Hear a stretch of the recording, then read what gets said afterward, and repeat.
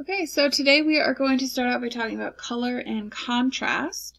Uh, to start color, we need the three primary colors because they are the basis for everything else. That is red, blue, and yellow. If we go over to our notes, we can see we have this lovely color wheel here. Um, I skipped ahead a little bit. And we can fill in this triad of colors. They make a triangle going around the color wheel. So if I go over here, I can see I have these three circles. So I want to change those. So I'm going to click on the object. I'm going to double click on the text. Maybe. There we go. Uh, double click on the text and change it to the correct let names. And yellow. Oh, well, it is yellow. Uh, and then if I click back on there, I can even go up here to the fill color and I can change that to the actual colors that they are supposed to be. And yellow. All right, and those are my primary colors on the color wheel. If I go back over to my notes, I can see that once I've got the primaries, I can mix the secondary colors. So red and blue is going to make purple. Blue and yellow is going to make green, and red and yellow is going to make orange. So on the color wheel, they're going to fit in between those colors. So the orange goes in between the red and the yellow that are used to create it. So if I go over here, this guy is going to be my orange. This guy over here is going to be my purple.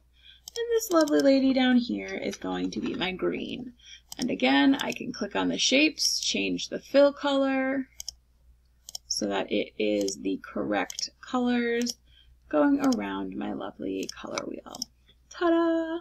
And then I could take these arrows over here and drag them, drag them. If you ever make a mistake, don't freak out. Uh, just Control Z will undo. I know the words are going to be upside down, but that's the primary color. I can take my secondary colors. I know that one's a secondary color. I know that one's a secondary color. And I know that that one is a secondary color. And this one, I don't need its extra. Okay, so that's all lovely and labeled. Now we're ready for these color schemes down here at the bottom. So we're going to go back to our notes. We're going to talk about uh, properties of color. This is the slide that should have been in the value presentation, but apparently it's out of order, so yay. As we know, color plus black is going to be a shade, and color plus white is going to be a tint. So we can move past that one. Uh, a color scheme is just a planned group of colors. It's a way of organizing a work of art. Sometimes artists choose to use the natural colors, sometimes they choose to use their own color scheme. There are a couple of fairly um, common color schemes that artists will use for different effects. The first one is monochromatic, shades and tints of one color. Um, so that's when you did the background to your winter landscape last year with Miss Zinc. Um, those would be shades and tints of one color, that blue that you guys did. Um, on here, you can see it says monochromatic color scheme. So again, I'm going to click these items. I'm going to pick one of my colors. This time I'm going to do red, and I'm just going to change it to be all the different shades in my lovely row here. And now I am making a monochromatic color scheme. Ta-da! It's okay that I repeated one. The second one, and the one that's going to be important for our current project, is called complementary color scheme. And this is when you choose colors that are opposite each other on the color wheel. So the pairs are down here. Red and green is a pair, blue and orange is a pair, and purple and yellow is a pair. Um, if we come back over here, you can see red is opposite green, purple is opposite yellow, orange is opposite blue. So when we fill in these ones, we can just fill it in with the color. If you'd like to rewrite the name, feel free. But at this point, you've already written it once before, so I trust that you remember which is which.